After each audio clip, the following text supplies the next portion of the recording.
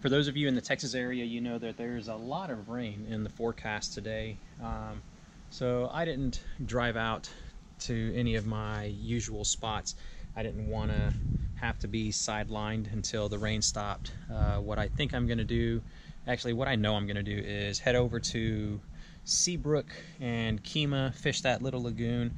I'm actually going to load Elijah's kayak up. Uh, we're going to take the Outback off. Uh, let me get this taken care of and we'll be out on the water. So what I'm really wanting to do is just get out there and fish with the brand new custom rod that I picked up from Andrew yesterday. But check this out.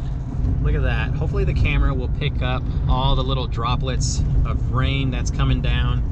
Um, it's supposed to be like that the entire day, but that's why I'm sticking close to home. If I end up having to pack it in because the rain gets a little bit harder, then, I mean, oh well, I didn't waste too much gas going out there. I want to see how this rod is going to perform. Uh, and because of this like light drizzle that we've got, I'm only coming out with just the one GoPro that's going to be on the action hat. These winds are really kicking right now.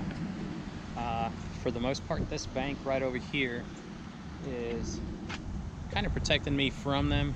I'm to give it a go, but I really need to get out there by uh, where the channel runs through right next to that restaurant and there's a, a bridge off of Toddville Road. Boy, it took a little bit of work, but we successfully launched. It's been a long time since I've been inside this little sport right here. I'm really hoping that we catch a flatty. It's been a long time since I've been able to hook into one of those. Last time was there at Sabine Pass, but I wasn't able to land it. There's some big ones in here too. So, I mean, if y'all are looking to get into some flatties, get you a small kayak like this that you can just like manhandle and put inside the water and then just load everything up. Those winds are starting to kick now. That's gonna be the, uh, the tough thing for today. All right, putting the Hogie on, that's what this rod is mainly going to be casting. Lures inside this weight class. Right now I'm doing a four twist uni. This is 10 pound fluoro. Wet it, then cinch it down. It's that simple. Anything less than my uh, 10 pound will get a trilene knot. Oh yeah. The handle being a little bit longer, I asked Andrew to put a little bit more length behind it and that is perfect for casting with one hand now. With the other one, my palm is actually right up against the blank and kind of hurts a little bit. It's still doable, but now it's like uh, my palm is completely supported by that handle. It's something to grasp onto.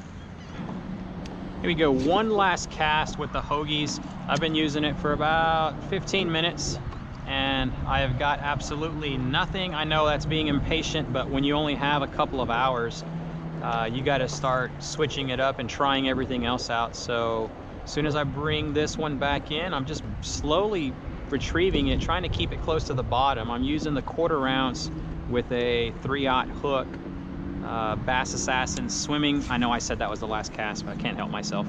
Uh, a swimming hook in the watermelon color. A lot of you are asking me what it is that I'm using as far as like the hooks and stuff like that. So that is what I'm using. Hello, mullet. Show me where he's at, bruh. I'll get him off of you. that guy's like, follow me. I will take you to him. All right, yeah, let's uh, put this away and then we will uh, pull out of Buggs and bounce that off the bottom for a little bit. All right, we're gonna go with the black and gold curl tail Let's see if this bug is to be able to get the job done.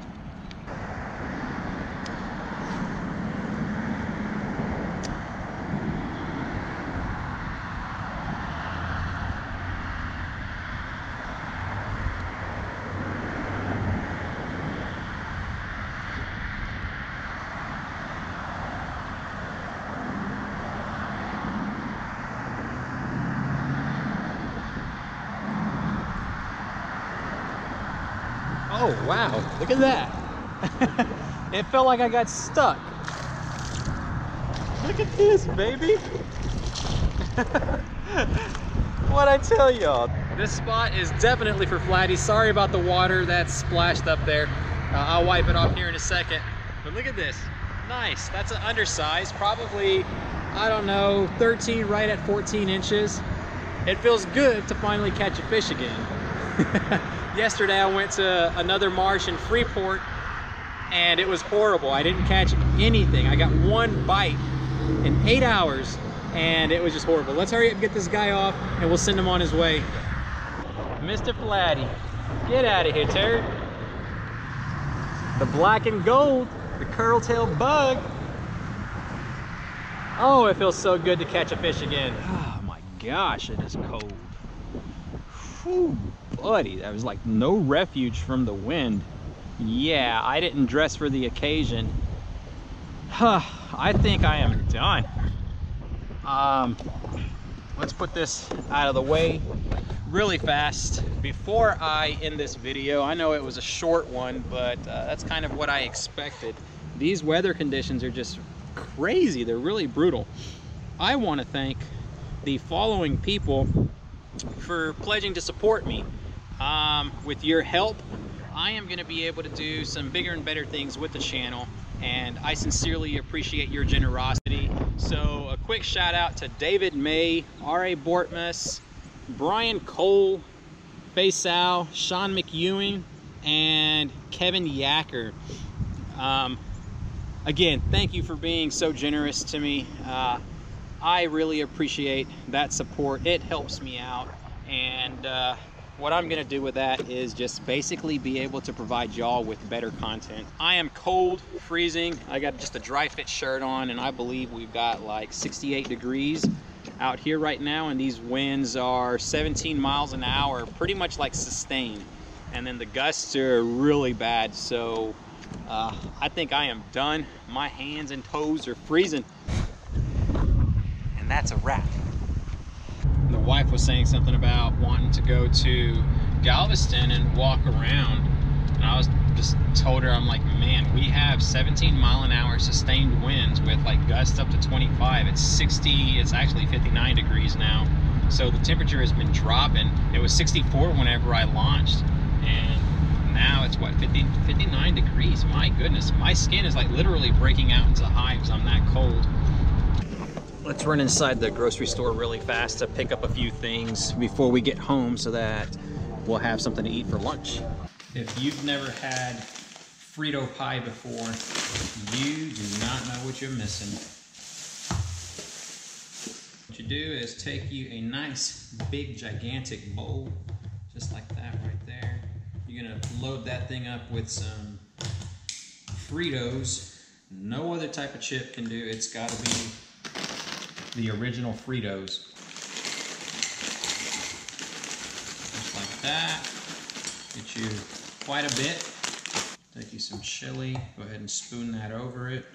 If you haven't tried Wolf brand chili, they make uh, Hormel, Campbell's, every other chili that's out there.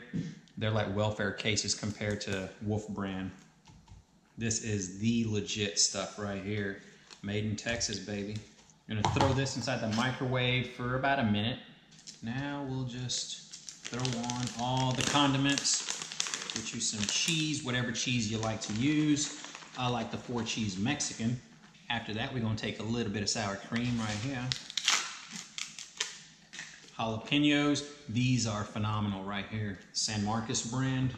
So here we go. This is Frito pie. Let's make sure that that's inside the the shot. Uh, here, let's do this. There we go. That is Frito pie right there, baby. Now, all we're gonna do is sit down, kick back, try to warm up a little bit, watch a little bit of YouTube fishing videos, and uh, call it a day. Uh, I really want to thank you all for watching. I appreciate the support that you all show me. And uh, if you like the video, please give me the thumbs up. It was cold out there and very brutal today. Uh, got wet and that just did me in. So I had to come back here to warm up and uh, just eat some comfort food. So uh, that's all. thank you for watching. Till next time, tight lines, everyone.